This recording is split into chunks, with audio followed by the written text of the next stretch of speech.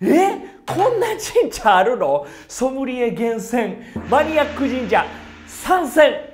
でございます。時計の神様。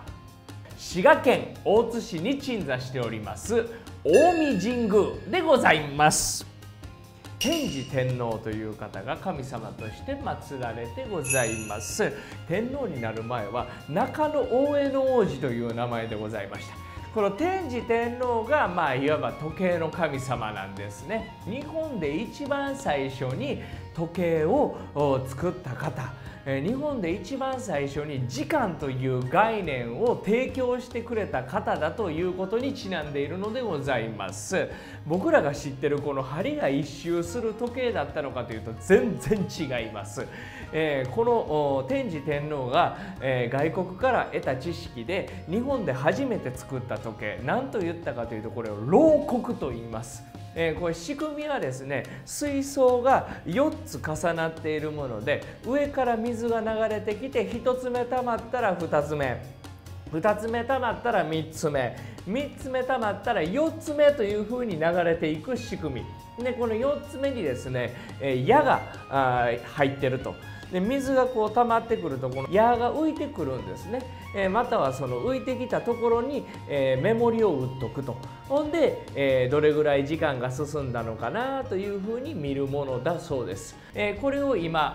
あいろんな、え人たちがですね遺跡を発掘したり、え文献見たりなんかしたりして、え再現してえ近江神宮にも奉納されているということでございます。近江神宮今取り組みとしては時計の技術者を育てる学校を運営してたりとか時計の博物館をですね、まあ、神社行ったら宝物庫とか宝物館ありますけどこの近江神宮は宝物館宝物庫が時計なんですね。中に行ったら日本で最古級だと言われている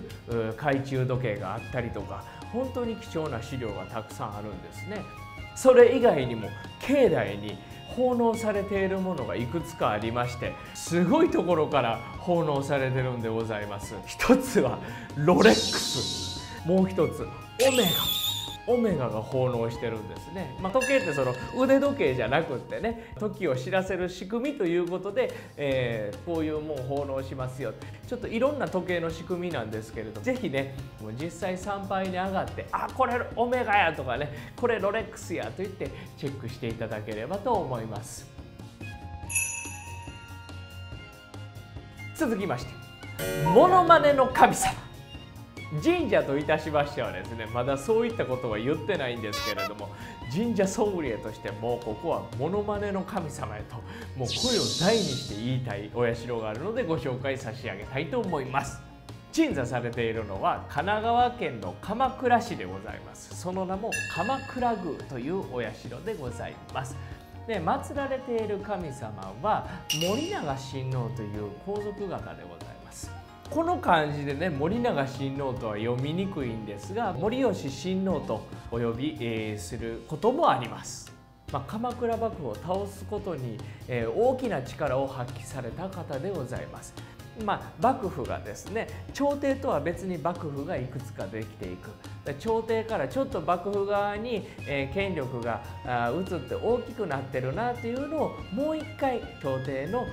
力を中心に日本を作っていこうよという功績を残された方として、えー、森永親王を祀る鎌倉宮なんでございます。今の話聞いてるとモノマネの神様1ミリも出てこうへんぞ。そうなんですよ。境内参拝させていただきますね。鎌倉宮のご本社参拝されましたらその右手奥に進んでください。皆様から行くと参拝して鎌倉宮右手奥ですね。もう一つお社があるんです。こちら村上社というお社がございます。祀られてるのはもうその名も村上さんなんですね、えー、これは森永親王に、え、仕えてた方でございます。でもこの方はですねすごくすごく熱い働きをされた方。森永親王なされたことが大きいだけにですね命を狙われていたわけです。で、えー、森永親王に命の危険が迫っているという時にお付きだったこの村上さんがですね親王とどうぞ逃げてください。しかし逃げる間僕が時間稼ぎをします、えー、なので、えー、敵がえー、自身をですね森永親王と間違えるようにどうかその身につけてらっしゃる鎧、え、そしてお召し物を僕にくださいと。森永親王はそうかと分かったと言って村上さんに託すと。で、まあ、森永親王はそのまま逃げられるわけですね。しかしこの村上さんはしっかりと森永親王に、ま、化けてというとちょっと語弊がありますけれども化けたので、えー、しっかりと時間を稼ぐことができた、まあ、しかし撃たれてしまうんですがね。えー、撃たれてしまうんですが森永親王その場は命が助かったというエピソードからあめちゃくちゃ熱い働きをしたねということでこの鎌倉宮の境内に村上社として村上さん、えー、祀られてございます。まあ、こんなエピソードから僕ちょっと月刊オートバイの神社ソムリエの開運ツーリングという企画でモノマネ芸人の長州小力さんを、えー、お連れしてモノマネの神様として通形、えー、していただいたらいいんじゃないかと思って、えー、ご案内差し上げたんですけれどもここで一つ奇跡が起きました。皆さんこの写真をご覧ください。どうぞ。似てるでしょ僕意識せずにエピソードだけで長州小力さんをお連れしたら村上さんの像と長州小力さんが瓜二つだったと。もうこれで完璧にモノマネの神様と言えるんじゃなかろうかという確信を得ましたね僕、まあ、こんなことを神職の皆さんとお話しさせていただきまして宮司さんをはじめ神主さんの方たちに、えー、許可をいただきまして親切として唱えさせていただいている次第でございます。最後でございます。こちらは看護師さんの守り神としてご紹介差し上げたいと思います。鎮座しておりますのは静岡県浜松市でございまして久神社と申し上げます。看護師さんの守り神という話の前にこちらに祀られている神様がすこぶる珍しいというお話を差し上げたいと思います。女性の神様で二柱。久海姫の神様と産海姫の神様なんですね、えー、こちらの二柱の神様日本全国を探してペアで祀られている神社というのは日本広し。神社9万以上と言われております。その中で久神社と出雲大社の境内だけというすこぶる珍しい神様でございます。なぜこちらの二柱が看護師さんたちの守り神と言えるのかというエピソード。えー、出雲に祀られているというお話をしましたが出雲の神様といえば大国主の御事。大国主の御事っていうのはですね大きい国の主になる前に名前がいっぱい変わっていった。最初は主じゃなかったんですね。で兄弟たくさんいまして目立たない存在だったんでございます上の兄弟たちはこの、まあ、後に大国主になる少年のことをのけものにしたかったんですね。ということで上の兄貴たちからいろんな意地悪されて、えー、傷つきながら、えー、強くなっていくというエピソードがございます。その中の一つにめちゃくちゃひどい仕打ちがございましてどんな意地悪されるかというと騙されながら意地悪されるんですね。近くの地域にですね、えー、綺麗な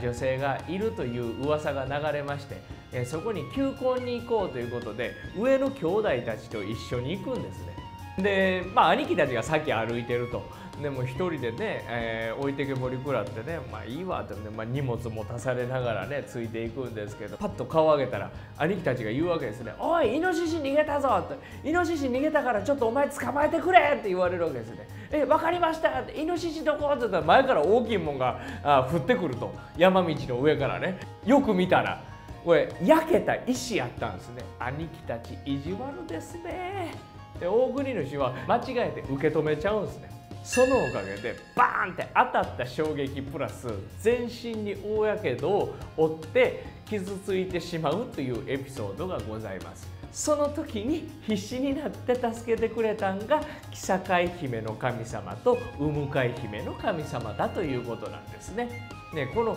久海姫というのは一説には赤貝の神様であると。で産海姫はハマグリの神さんであると言われております。この二柱の神様大国主に向かってどういうことをして差し上げたかというと、まあ、赤貝の貝を削ってですね粉にしたという話なんですね。でその粉にしたところにハマグリの神さんがハマグリの煮汁を足してえこねたと。まあ、今でいう軟膏を作ってあげたということでしょうね。一説には産海姫がそのまま母乳を出したと。でその母乳でこねって軟膏を作ったという説もあるそうですね。でこの軟膏にして塗ってあげたところ大国主のやけどが治り内身が治り、えー、そして元気になって後々、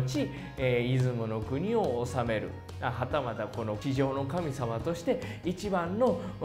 存在になっていくという命を助けた神様ということで看護師さんたちの守り神ということがまことしやかに言われるようになったということでいつの頃からか、まあ、看護師試験国家資格の試験ですね、えー、受ける方たちが、まあ、合格祈願に全国から訪れるようになったりとか看護師の皆さんが参拝に上がっているという話でございました。えその他僕が思うのはいわゆるエッセンシャルワーカーと言われる方たち、え社会がうまく回るために、えその他社会の方たちが元気でいれるようにということでお仕事されている皆さんの守り神とも言えるんじゃないかなと思いましたね。このように全国にはまだまだ多くの方に知られていない、えご利益だったり神様だったりをお祭りする神社が残されていると思います。えー、皆さんがお住まいの近くはたまた知っている神社でこんな珍しいお社あるよという方がいらっしゃいましたら是非コメント欄に、えー、投稿よろしくお願いいたします機会があれば紹介させていただきたいと思いますということでこのチャンネルでは神社にまつわる豆知識とか開運情報を発信しております。いや良かったなと思われた方是非グッドボタンそして、えー、チャンネル登録よろしくお願いいたします。